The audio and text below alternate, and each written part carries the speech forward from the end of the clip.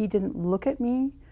He didn't raise his head. He was looking at the ground the entire time. This woman, who we'll call Susan, is still traumatized by what happened, so she asked to hide her identity. But Susan does want to share her story about the time she ran over and killed a pedestrian driving home from work off Happy Valley Road and 16th Avenue in Phoenix back in February. All I remember is jerking the wheel. I don't remember if I slammed on the brakes. And if I hadn't have swerved, he would have come in through the windshield and hit me and possibly killed me. For months, Susan felt incredible guilt learning about the victim and thinking if there was something she could have done to avoid the collision.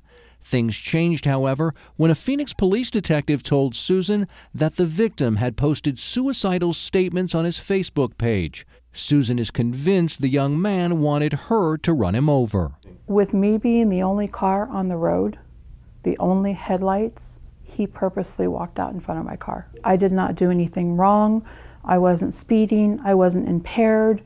I wasn't on my phone. If he was really set on committing suicide, he didn't need to walk in front of a car. Susan tells us her feelings of grief and guilt turned to anger, knowing that someone would put her life at risk to end their own.